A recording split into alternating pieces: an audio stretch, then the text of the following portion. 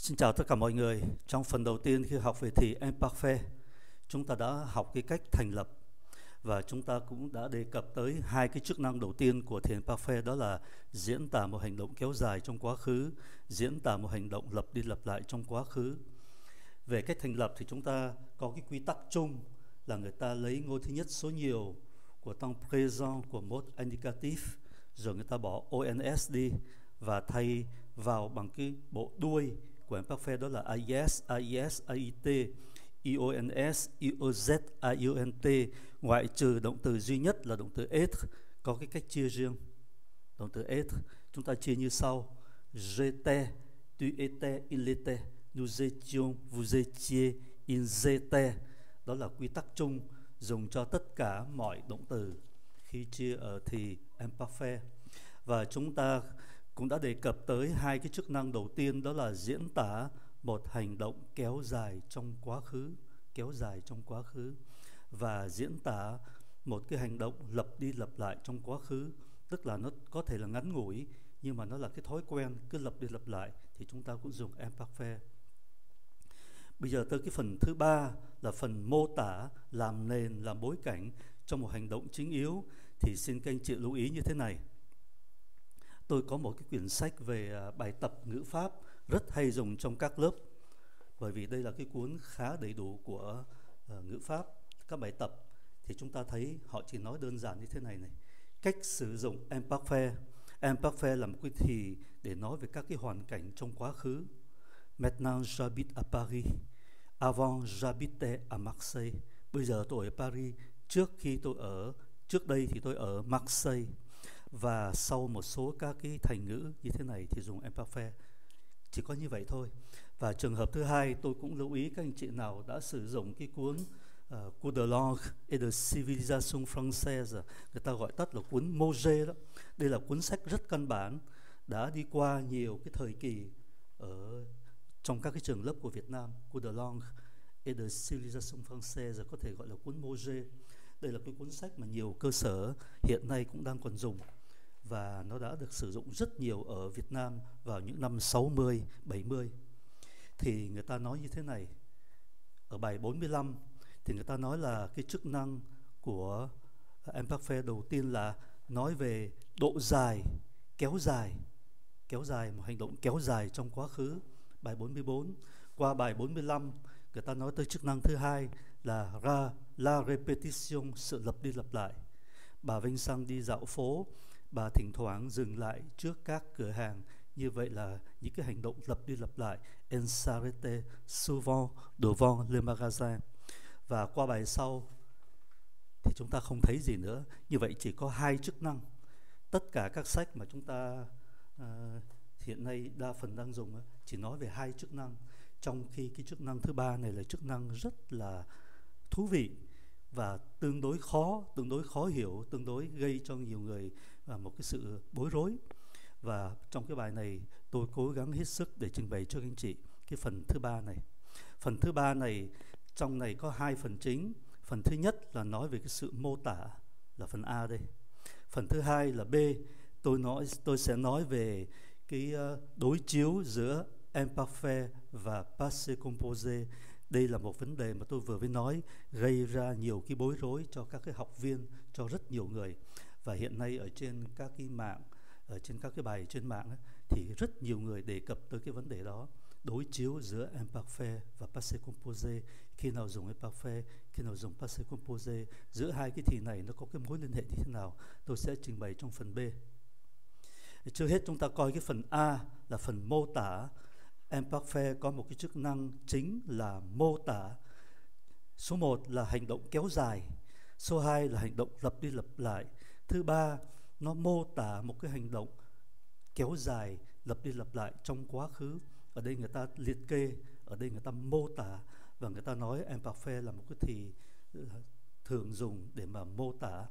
À, trước hết tôi xin ờ, mời các anh chị coi ba bài đọc ba cái đoạn thôi để cho thấy người ta mô tả người ta dùng imperfect như thế nào. Cái bài thứ nhất tôi xin giới thiệu một bài hát của nhạc sĩ George Amen. George Amel là một nhạc sĩ nhạc đồng quê. Những cái bài này rất là hay rất là tâm tình. Và nếu các anh chị uh, thích anh chị có thể tìm cái bài này ở trong YouTube có thể nghe ở đây tôi không có thể đưa lên được. Dans le temps de mon père nhạc sĩ kể lại cái thời xưa thời của ba cha của nhạc sĩ như thế nào. Dans le temps de mon père la vie était facile verbe être. La route était de terre mais beaucoup plus tranquille on savait se distraire c'était pas difficile dans le temps de mon père rien n'était si fragile. Tôi tạm dịch như thế này. Vào thời buổi của ba tôi, thuở ấy cuộc sống thật là dễ dàng. La vie était facile. Lúc ấy, đường xá lúc ấy còn bằng đất nhưng yên ổn hơn nhiều, tức là yên ổn hơn bây giờ. La route était de terre, verbe être, mais beaucoup plus tranquille. On savait se distraire, c'était pas difficile. On là là chúng tôi là người ta đó, người ta có thể vui đùa giải trí và không có gì khó khăn cả. Tức là rất là đơn giản. Lúc ấy người ta có những thú giải trí rất đơn giản. Dans le temps de mon père rien n'était si fragile. Vào cái thời buổi của ba tôi không có gì là mong manh si là mong manh lắm. Ở đây có cái ý là so sánh như bây giờ đó. Không có gì là mong manh dans le temps de mon père, la rivière était belle, vẫn là verbe être vào thời của ba tôi, dòng sông thật là đẹp. L'eau était bleue et claire comme le bleu du ciel. Nước sông thì xanh và trong như là màu xanh của bầu trời. Il regardait les blés vanzés au gré du temps. In đây là ba tôi á. Ba tôi ở chúng ta coi câu thứ hai luôn. En écoutant celle qui l'aimait Đây là Jean Diff. Jerome Deep nói một cái hành động xảy ra cùng lúc với hành động chính. Do đó chúng ta phải dịch cái này luôn bố, ba tôi vừa nhìn các cái bông lúa nhảy múa theo cái nhịp của gió và vừa nghe cái người phụ nữ mà ba tôi yêu mến vô cùng, tức là mẹ tôi đó vào thời của ba tôi, dòng sông thật là đẹp, nước sông trong xanh như màu xanh của bầu trời ba tôi vừa ngắm nhìn đồng lúa nhảy múa theo điệu gió và vừa nghe mẹ tôi là người ba tôi rất yêu quý hát ca Dans le temps de mon père, les filles et les garçons vivaient d'amour sincère et c'était pour de bon. Vào thời của ba tôi, trai gái lúc ấy yêu nhau bằng một cái tình yêu chân thành, amour sincère và điều đó quả là quá tốt đẹp. Tôi giới thiệu với anh chị một cái bài khác, bài này là bài đọc về em parfait lấy ở trong podcast Français Facile. Các anh chị có thể tìm cái bài này Une journée ordinaire, một, một cái ngày bình thường nhưng mà nói về quá khứ. Các anh chị có thể tìm cái bài này ở trong cái trang mạng như thế này và có cái phần nghe và tất cả các anh chị sẽ thấy tất cả các động từ tôi in đậm đều là ở em parfait, bất kể nó kéo dài hay lặp đi lặp lại Tous les matins, Sylvie se réveillait à 6 heures Tất cả các buổi sáng, xin vi thức dậy, thức giấc vào lúc 6 giờ. Như vậy là hành động lặp đi lặp lại. En restait un peu au lit et elle se levait à 6 heures demi. C'était assez tôt pour elle. À cô ta nằm nướng ở trên giường thêm một chút xíu nữa và cô ta ra khỏi giường lúc 6 rưỡi dậy lúc 6 giờ thức dậy ra khỏi giường lúc 6 rưỡi và như vậy đã quá sớm đối với cô cô Sylvie. Elle prenait sa douche et elle s'habillait. Cô ta đi tắm tắm vòi sen rồi mặc quần áo. Ensuite elle prenait son petit déjeuner. Sau đó cô ta dùng bữa điểm tâm Pendant son petit déjeuner, elle lisait un peu et elle écoutait la radio. Trong khi ăn sáng thì cô ta đọc một chút, radio. Après avoir pris son petit déjeuner, elle s'occupait de ses plantes vertes. Sau khi ăn điểm tâm thì cô ta uh, lo cho các cái cây xanh. Puis elle se préparait pour partir au travail. Sau đó cô ta chuẩn bị, chuẩn bị là chuẩn bị mình á, áo quần giày dép á, để đi làm. Elle se brossait les dents, elle se maquillait, elle mettait son manteau et elle partait au travail. À, cô ta đánh răng, cô ta trang điểm một chút, cô ta mặc cái áo choàng vào và cô ta ra đi đi làm. Elle partait de chez elle à 7h15. Cô ta ra khỏi nhà, ra đi, từ nhà ra đi lúc 7 giờ 15. Avant de commencer son travail, elle prenait un café avec Julien, son collègue. Trước khi bắt đầu công việc, ờ, cô ta uống một ly cà phê, một tách cà phê với Julien là đồng nghiệp của cô ta. Elle travaille de 8 heures à midi. Cô ta làm việc từ 8 giờ cho tới 12 giờ trưa. Après avoir terminé son travail, elle allait se promener dans un parc. Sau khi kết thúc công việc, thì cô ta đi ờ, dạo ở trong công viên. Elle se promenait pendant une heure et puis elle rentrait. Cô ta đi dạo khoảng một tiếng đồng hồ, trong vòng một tiếng đồng hồ, sau đó trở về nhà. Chaque soir, elle faisait quelques courses au supermarché du coin. Mỗi buổi chiều, cô ta đi chợ mua một vài ba món đồ ở cái siêu thị ở khu phố. Quen đây là không phải cái xó, cái góc đâu. Coin là cái góc, ở đây là trong cái khu phố của mình. Elle parlait quelques minutes avec la voisine et elle rentrait pour préparer le repas. Ờ, cô ta nói chuyện vài phút với bà hàng xóm, rồi sau đó trở về nhà để chuẩn bị bữa tối. Sylvie vivait seule. Sylvie sống có một mình. Elle n'avait pas d'animaux et elle était heureuse comme ça. Cô ta không có thú cưng và cô ta cảm thấy như vậy là hạnh phúc. Le soir, elle mangeait en regardant la télé. Buổi tối cô ta ăn ăn uống và vừa ăn vừa xem tivi. Après avoir regardé son programme préféré, elle faisait la vaisselle et elle téléphonait à une amie. Sau khi coi xong cái chương trình mà cô ta thích, thì cô ta đi rửa chén bát và cô ta gọi điện cho một cô bạn. Ensuite, elle se démaquillait et elle prenait son bain. Sau đó cô ta à, uh, maquiller là trang điểm, démaquiller là mình lau đi, lau chùi các cái phấn son đi. Et elle prenait son bain, rồi cô ta đi tắm. Elle y restait pendant une heure, cô ta ở trong bồn tắm một tiếng đồng hồ. Après le bain, elle se séchait longuement les cheveux. Sau khi tắm thì cô ta hong tóc uh, cho nó khô lâu dài. Après sécher les cheveux, elle se couchait. Và sau khi hong tóc xong thì cô ta đi vào giường nằm. Elle lisait un peu avant de s'endormir. Trước khi ngủ thiếp đi thì cô ta đọc một chút, đọc sách, đọc báo. Elle s'endormait vers minuit và cô ta thiếp đi vào lúc 12 giờ đêm, ờ, nửa đêm. Như vậy chúng ta thấy là ở đây là cái thì empathy này nó diễn tả các cái hành động có thể là kéo dài. Cô sinh viên sống một mình. Bao nhiêu năm trời cô ta sống một mình. Cô ta làm việc từ ờ, 8 giờ cho tới 12 giờ trưa, 4 tiếng đồng hồ. Rồi cô ta đi dạo ở trong công viên một tiếng đồng hồ, một tiếng đồng hồ. Đó là những cái hành động kéo dài. Rồi cô ta ăn sáng 15 phút chẳng hạn. Cô ta đọc sách một chút, rồi cô ta chăm sóc cây một chút, ngắn hơn.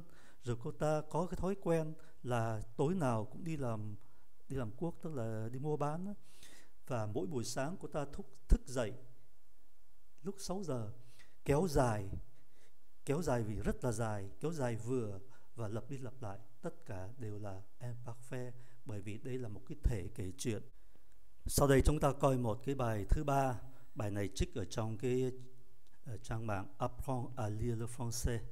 Ở trong này có 20 bài và tôi lấy bài số 7 nó bắt đầu từ cái phút như thế này 1 giờ 04 04 phút 18 giây. Các anh chị có thể theo dõi cái phần audio của nó. Và chúng ta chỉ coi phần đầu chúng ta dành cái phần sau để tới cái phần B tôi sẽ đối chiếu cho anh chị coi. À, nói về cái cuộc sống của chị Jean trước kia. Quand Jean était étudiant elle lisait et elle étudia beaucoup khi Jean còn là sinh viên cô ta đọc sách rất nhiều và cô ta học hành rất là nhiều chuyện đời xưa trước kia là sinh viên Elle allait presque tous les jours à l'université à pied ou à vélo. Hầu như ngày nào chị ta cũng đi tới trường đại học à, đi bộ hoặc là đi xe đạp. Elle était très sérieuse, mais elle aimait aussi beaucoup sortir.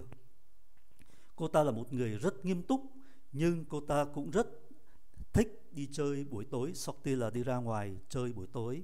Le soir, elle allait souvent boire un verre avec des amis dans un bar du centre-ville. Buổi tối cô ta thường đi uống một ly nước với các bạn bè ở trong một quán bar ở trung tâm thành phố centre-ville.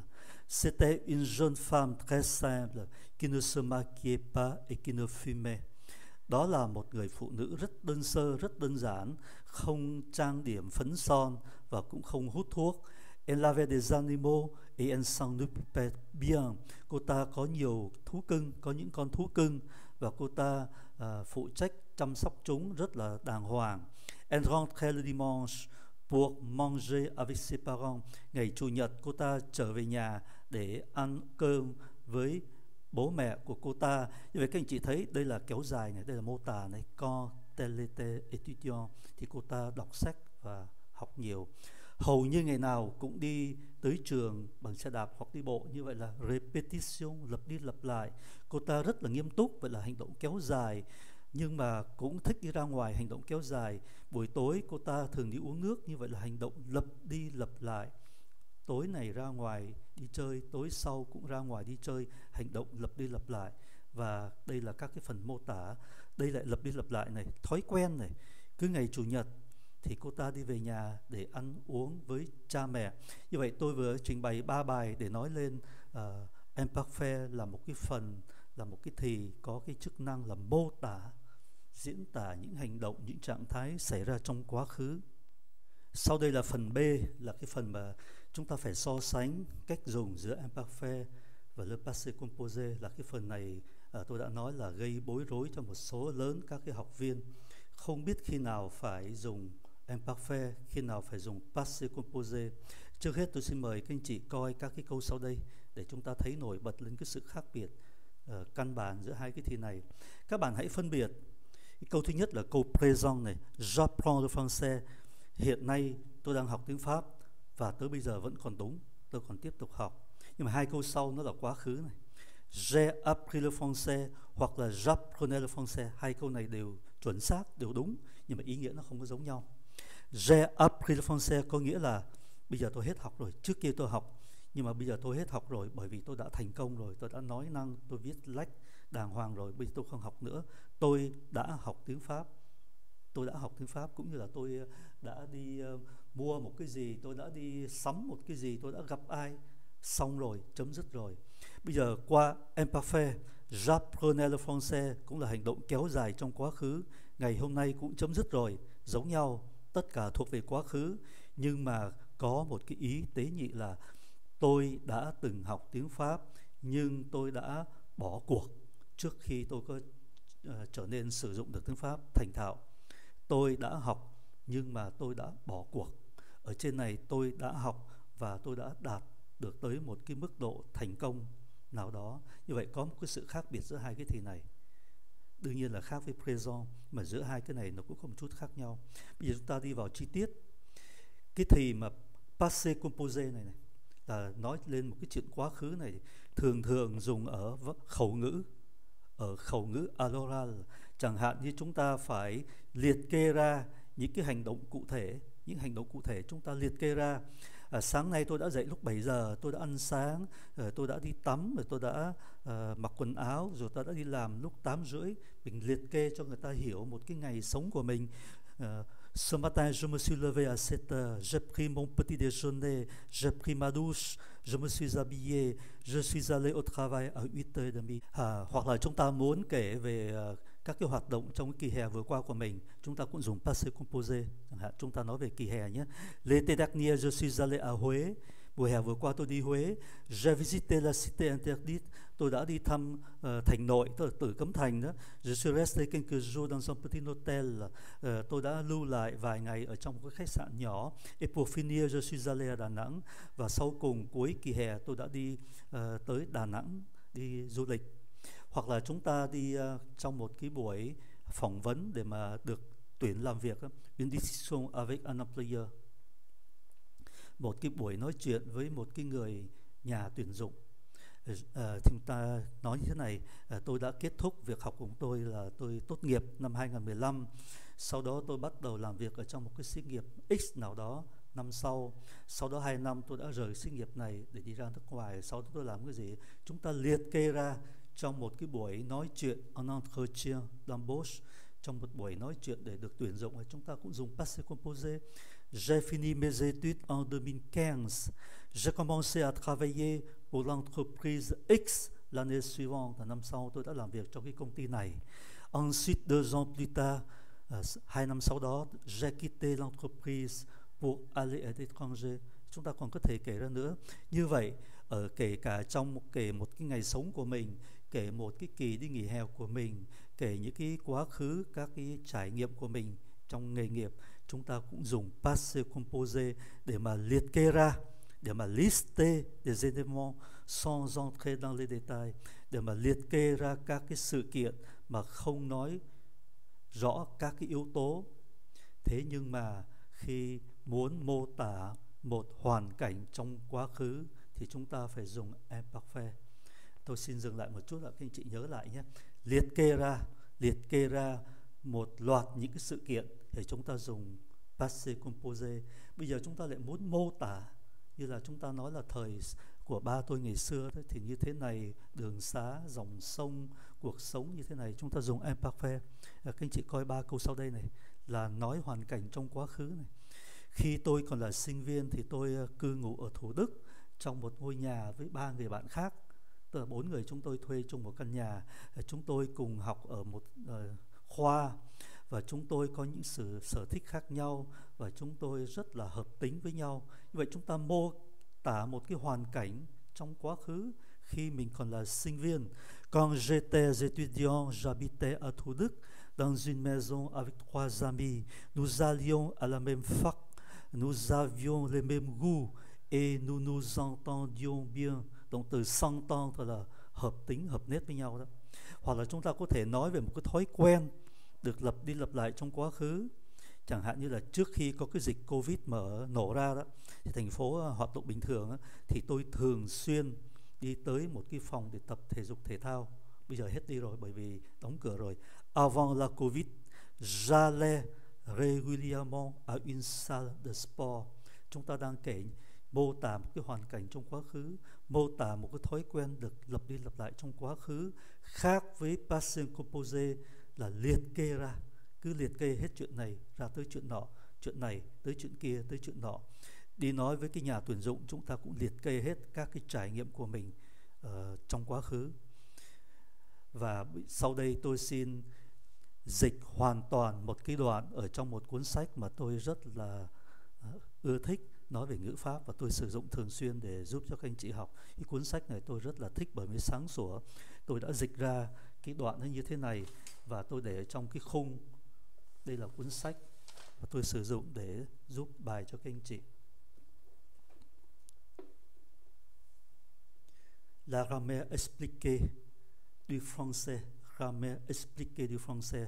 Cái cuốn sách này à, cũng xuất bản mới đây thôi 2007 và nó trình bày khá rõ ràng tôi rất là ưa chuộng cái cách trình bày của cuốn sách này và tôi xin đóng khung lại và tôi dịch toàn bộ cái mà ta ghi ở trong cái phần nói về imparfait và passé composé, sự đối chiếu giữa hai cái thì này. Xin mời các anh chị coi. Đây là văn của người ta nhé, tôi dịch ra nhé. Người ta thường nói là le passé composé được dùng cho những hành động nhất thời tức là những cái action punctual là, hôm qua tôi gặp cái gì hôm qua tôi mua cái gì hôm qua tôi đã điện thoại cho ai? Đó là những hành động nhất thời. Nó ngắn ngủi và nó chấm dứt trong quá khứ. Và người ta cũng thường nói là imparfait được dùng cho những hành động kéo dài action qui dure. Trong quá khứ, tức là ờ, trước kia tôi là sinh viên, trước kia tôi làm việc cho sinh nghiệp này sinh nghiệp kia, trước kia tôi đã, đó là hành động kéo dài, hành động nhất thời. Người ta thường nói như vậy. Nhưng không đơn giản như thế đâu các bạn ơi. Đó là lời của cuốn sách. Các bạn hãy quan sát hai câu sau đây. Đây là hai câu ở trong cuốn sách đó. J'ai rencontré Paul le 21 mars 1997 tức là một cái hành động ngắn ngủi và có ngày, có tháng. Ngày này, tháng này, năm này, tôi đã gặp anh Paul. Như vậy là chấm dứt, ngắn ngủi và chấm dứt rồi. Passé composé ở dưới cũng dùng passé composé. J'ai vécu à Lyon pendant 25 ans 25 năm trời. Khác xa với cái hành động mà gặp cái anh này vào ngày 21 tháng 3 1997 25 trời kéo dài action de longue durée. Hành động kéo dài và được cũng được chỉ rõ là 25 năm. Như vậy người ta vẫn dùng passé composé. Và trên này người ta thường nói là passé composé được dùng cho những hành động nhất thời. Số 2 này không phải là hành động nhất thời mà là hành động rất dài kéo dài 25 trời. À, chúng ta có cái nhận xét là điểm chung của hai câu này là cả hai sự kiện này một và hai đều nằm trong quá khứ. Nhưng mà người ta vẫn có thể dùng passé composé mặc dù ở trên là ponctuel ở dưới là long durée ở trên là ngắn ngủi nhất thời ở dưới là kéo dài vẫn dùng passé composé chúng ta tạm để tạm để đó mời các anh chị coi hai cái câu khác mà tác giả đã trích ở đã viết ở trong sách. Các bạn lại quan sát hai câu khác. Xưa kia, nhiều trẻ em đã làm việc cực khổ như là người lớn. Đây là một hành động kéo dài trong một quá khứ, không được xác định, không có điểm đầu và cũng không có điểm cuối. Người ta chỉ nói là xưa kia vào một cái thời kỳ xa xưa trẻ em ngày xưa phải đi làm cực khổ như là người lớn 13, 14, 15 tuổi đã phải đi đào mỏ than chẳng hạn, đã phải đi khuân vác chẳng hạn, đó là chuyện ngày xưa. Nhưng mà ngày xưa này, cái quá khứ này không được xác định, chỉ dùng một cái chữ ngắn ngủi là jadis, jadis là ngày xưa ngày xưa, không điểm đầu và cũng không điểm cuối, như vậy dùng imperfect. Kéo dài trong một quá khứ không được xác định, không điểm đầu và không điểm cuối. Ở đây chúng ta thấy tôi đã sống ở Lyon 25 năm trời không rõ lắm từ năm nào tới năm nào nhưng hiểu lầm hiểu ngầm là nếu tôi sống vào năm ờ, uh, 1990 thì uh, tôi đã rời cái thành phố này là 25 năm sau là 2015 chẳng hạn. Hiểu ngầm như vậy kéo dài 25 năm ở đây không có điểm đầu cũng không có điểm cuối và phải dùng imparfait ở trên này có xác định rồi có précisé rồi người ta dùng passé composé các anh chị có thấy cái sự khác biệt không ạ? Đây kéo dài này. Đây cũng là kéo dài này. mà trên dùng passé composé bởi vì nó được précisé nó được nói rõ là 25 năm. Ở dưới này j'ouvre la porte quand le téléphone a sonné. Đây là quá khứ ạ. Imparfait tức là khi đó tôi mở cửa nhà ra thì nghe điện thoại reo, diễn tả tính chất cùng lúc đồng thời là simultaneité của hai hành động hai hành động này xảy ra cùng lúc. Tôi vừa mở cửa thì cái này cũng vừa mới reo. Hành động xảy ra cùng lúc và đây là vấn đề của chúng ta đây. Chúng ta phải thấy khi nào dùng imparfait khi nào dùng passé composé.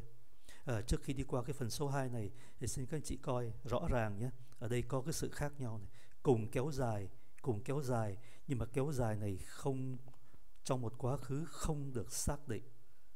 Không có điểm bắt đầu và cũng không có điểm cuối cùng.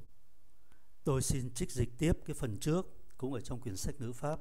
Như vậy, nói chung là khi trong cùng một câu, nếu có cả hai thì passé composé và imparfait, thì imparfait làm nền, làm bối cảnh, còn passé composé nổi bật lên ở phía trước như là một hành động, một sự kiện xảy ra bất ngờ thì các anh chị thấy không ạ?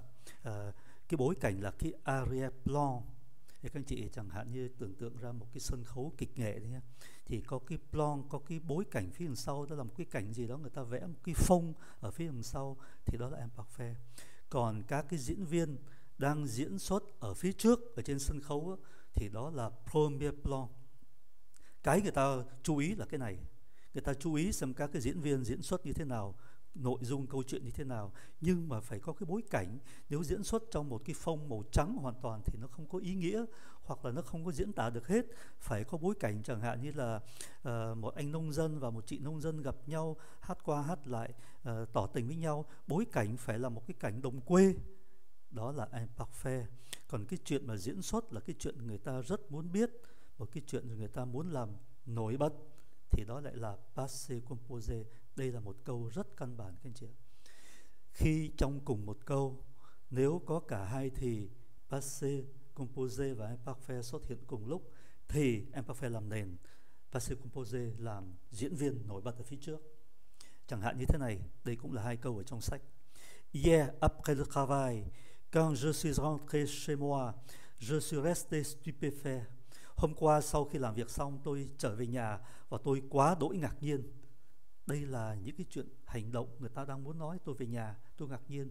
Ở nhà có cái chuyện như thế này này. Em parfait em parfait em parfait tous mes amis étaient là le salon était décoré. Il y avait un buffet, des fleurs, des cadeaux. C'était une surprise de ma femme pour mon anniversaire. Hôm qua sau khi đi làm về, tôi trở về nhà và tôi ngạc nhiên quá sức người ta bắt đầu tìm hiểu. Vậy đây là cái chuyện mà tác giả muốn kể chuyện này cái chuyện này khác với ngày thường. Ngày thường đi về thì bình thường. Ngày khác đi về thì tắm rửa rồi ăn cơm. Ngày này đi về quá đỗi ngạc nhiên. Thấy tất cả các bạn bè mình đang đầy đủ ở trong nhà. Phòng khách thì được trang hoàng, đẹp đẽ. Có một cái buffet, đây là cái tiệc tiệc buffet đó. Người ta bày ra để cho mọi người tự dùng, tự ờ, tự tự lấy mà tự ăn đó. Và có cả bông hoa có cả nhiều quả cáp và đó là một cái ngạc nhiên thú vị mà vợ tôi để dành cho cái ngày sinh nhật của tôi đây là bối cảnh ạ bối cảnh của cái việc mà làm cho tôi ngạc nhiên câu thứ hai cũng như vậy này Nous sommes sortis vers 7 heures. Chúng tôi ra đi vào lúc 7 giờ và ngày Le jour se levait à peine, ngày vừa mới bắt đầu, tức là mặt trời vừa mới mọc. Il y a Il y avait peu de monde dans les rues, ở ngoài đường có rất ít người. Seul les boulangeries étaient ouvertes, chỉ có các cái tiệm bánh mì thì đã mở cửa. Le brouillard était épais, sương mù thì dày đặc. Il faisait très froid, trời thì rất là lạnh. Soudain, j'aperçus une ombre, và bỗng nhiên tôi nhìn thấy một cái bóng. 7 giờ này có lẽ vào mùa đông ở bên các xứ kia. 7 giờ thì trời còn tối lắm. 7 giờ trời tối mịt. Ít người ngoài đường chỉ có vài ba cái tiệm bánh mì mở cửa, sương mù thì dày đặc, trời thì lạnh cóng. Và bỗng nhiên tôi thấy một cái bóng, một cái bóng này, không biết bóng gì, không không biết là cái chuyện gì đây. Như vậy là hai cái chuyện này rất là nổi bật này. còn các cái chuyện mà ngày hoặc là đường xá, hoặc là cửa tiệm, hoặc là sương mù, hoặc là thời tiết gì đó, nó chỉ làm cái bối cảnh để cho người ta thấy cái chuyện này xảy ra khi nào. Và chúng ta có thể nói, tóm tắt một câu như thế này. Em parfait thì làm bối cảnh làm cái context. Còn passé composé nó là hành động chính. Và đây có thể nói đây là hành động chính và đây là hành động phụ. Cái này là phụ cái này là chính. Nhưng mà tôi thích cái cách nói là đây là một cái bối cảnh để cho một cái hành động ờ, chính nó nổi bật lên. À, tôi lại có cái câu ví dụ khác. Le week-end dernier il faisait beau. Donc je suis allé faire une promenade dans le parc. Như vậy đây là một bối cảnh và đây là một cái hành động chính này uh, weekend vừa qua thời tiết rất là đẹp trời rất là đẹp. Và như vậy là tôi đã đi dạo chơi ở trong công viên. Tôi đi dạo chơi ở trong một cái hoàn cảnh là ngày cuối tuần và trời rất là đẹp. Rồi tiếp theo này pendant que je faisais la promenade dans le parc un vélo m'a percuté et je suis tombé. Đây là hành động chính và hành động phụ. Hành động chính là tôi bị đụng khi tôi đang đi bộ ở trong công viên. Trời rất là đẹp thế là tôi đi bộ. Cái này là đi bộ ở trong cái bối cảnh này. Bây giờ có hai hành động thì một cái chính một cái phụ. Cái này là người ta muốn nói đây và passive compose tôi bị xe đạp một cái xe cái người kia họ đạp xe họ đụng vào tôi một cái thật là mạnh. Percute là đụng mạnh lắm đó. Và tôi ngã ra. Jositompe trong cái hoàn cảnh nào? Trong cái hoàn cảnh là tôi đang đi dạo ở trong cái công viên. Là cái chuyện này này. Như vậy đây là hành động phụ và đây là hành động chính. Hành động chính người ta dùng passive compose và thưa các anh chị bây giờ tôi uh, nói một cái câu ờ, đơn giản hơn, ngắn ngủi hơn và đây là sự thực ở trong ờ, cuộc đời của tôi đây này. Và tôi hay đưa câu này vào trong lớp này. Quand j'avais 10 ans, khi tôi lên 10 tuổi, je suis allé à la mer pour la première fois dans ma vie. Khi tôi lên 10 tuổi thì tôi mới được đi ra biển lần đầu tiên trong đời. Đây là sự thực của đời tôi đó. Tại gia đình tôi sống ở trên vùng tây nguyên, không biết biển là cái gì hết từ bé cho tới lớn, tôi không biết biển là cái gì hết, chỉ thấy trong sách vở. Và tới khi tôi lên 10 tuổi, tôi mới được đi ra biển lần đầu tiên. Như vậy, tôi đi ra biển là cái điều mà tôi muốn làm nổi bật, tôi muốn kể cho các anh chị nghe. Và kể cái chuyện này ra khi nào? Ở trong cái bối cảnh là lúc đó tôi còn bé lắm 10 tuổi. Đối với người khác thì lớn rồi. Người ta đi từ lúc 1 2 tuổi mà tôi tới 10 tuổi mới được đi. Nhưng mà đây là một cái bối cảnh để tôi đưa cái sự kiện này vào và khi tôi uh, trình bày về empathy trong lớp tôi hay làm empathy là cái con đường như thế này một cái đường kẻ này này. Và các cái sự kiện xảy ra tôi để cái mũi tên. Đây là một uh, đây là một sự kiện. Nếu tôi muốn kể nữa tôi làm một cái sự kiện nữa. Lúc nãy chúng ta coi cái chị sinh viên này khi chị là sinh viên này chị đọc sách rồi chị học hành rất là nhiều rồi chị thỉnh thoảng chị ra ngoài chị uống thế nhưng mà à, un jour tout a changé nhưng mà một ngày kia tất cả đã thay đổi. Chị coi bên trên này, này đây là một phụ nữ đơn sơ, không có trang điểm phấn son, không hút thuốc, có thú cưng, rồi ờ, buổi ờ, ngày chủ nhật thì đi về nhà ăn cơm với cha mẹ, rồi lại về trường, học hành rất là nghiêm túc. Thế nhưng mà un jour tout a changé, một ngày kia, tất cả đã thay đổi. Chị ta đã gặp Sebastian cái anh Sebastian và chị ta đã yêu anh này, đã tương tư anh này. Un jour, tout a changé. Như vậy là passé composé Có một cái gì nó thay đổi của cuộc sống bình thường ở bên trên này. Và tôi trình bày như lúc nãy, Đây là một cái đường thẳng. Đây là một cái đường kẻ thẳng. Và bây giờ đây là một cái mũi tên đi xuống. Un jour, tout a changé. Elle a rencontré Sébastien et elle est tombée amoureuse de lui. Những cái gì mà bất ngờ, tôi tạm in nghiêng để cho anh chị thấy này là những cái bất ngờ này. Sébastien était grand, il était beau, il avait des cheveux longs, mais il était un peu bizarre, il parlait très vite, il était toujours très stressé. Đây lại trở về cái phần mô tả. Nhưng anh Sebastian là một người cao lớn, anh ta rất đẹp trai, anh ta có mái tóc dài, thế nhưng mà anh ta hơi kỳ cục. Il était, anh ta hơi kỳ cục. Anh ta nói nhiều, anh ta nói rất là nhanh và anh ta luôn luôn là bị căng thẳng, bị stress. Rồi lại trở lại một cái gì nó bất ngờ để chúng ta đoán đón xem. Un jour, elle est partie avec lui aux États-Unis et ils ont eu des problèmes d'argent. Một ngày kia cô ta uh, đi với cái anh Sebastian này đi sang Mỹ và họ đã gặp nhiều cái vấn đề khó khăn về tiền bạc. Il a commencé à boire et il est devenu violent. Sebastian bắt đầu uống rượu và trở nên dữ dằn. Ils se sont séparés cinq ans plus tard và họ đã chia tay 5 năm sau. Thưa các anh chị, cái câu chuyện này cũng không có hay ho, không có lý thú gì lắm. Nhưng mà tôi trích ở trong cái trang này này, Apprendre à lire français. Để cho các anh chị thấy là khi chúng ta cái mô tả một cái đời sống bình thường á, thì dùng imparfait, quá khứ. Thế nhưng mà một ngày kia nó có một cái gì thay đổi thì chúng ta lại dùng passé composé. Chúng ta dùng cái thì passé composé nó như là như thế này. Trước kia cô ta là một người sinh viên nghiêm túc, serious. Cô ta học hành chăm chỉ. Bỗng một ngày kia cô ta gặp anh Sebastian. Rồi cô ta yêu anh ta. Rồi sau đó có một ngày kia hai người đi Mỹ với nhau. Qua bên đó họ bị khó khăn về tiền bạc. Anh kia buồn quá uống rượu và trở nên hung hăng dữ dằn. Tất cả những chuyện này là những cái chúng ta phải dùng passé composé để mà diễn tả và đó là cái sự khác biệt giữa passé composé và imparfait và trước khi chấm dứt tôi lại nhắc lại cái phần đầu của cái uh, của cái cách trình bày của cái bài này. Để các bạn thấy nhé passé composé được dùng cho hành động nhất thời. Imparfait được dùng cho hành động kéo dài. Thế nhưng mà không phải đơn giản như vậy đâu. Bởi vì có khi kéo dài mà vẫn dùng passé composé có khi kéo dài thì lại dùng imparfait à, cái qua cái khác biệt là như thế nào ạ? Khác biệt là khi kéo dài mà trong một cái thời điểm được xác định giờ ở đây thì chúng ta dùng passé composé mà kéo dài như cái dạng này này ngày xưa trẻ em đi làm việc cực khổ như người lớn không xác định thì chúng ta dùng imparfait.